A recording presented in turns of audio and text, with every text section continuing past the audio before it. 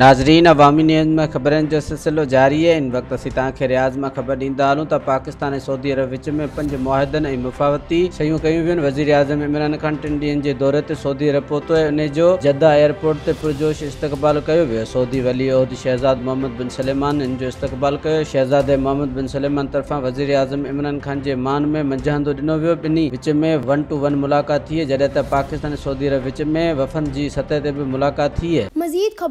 तफसीत के लिए विजिट करें हमारी website W W W dot Awami News H D dot com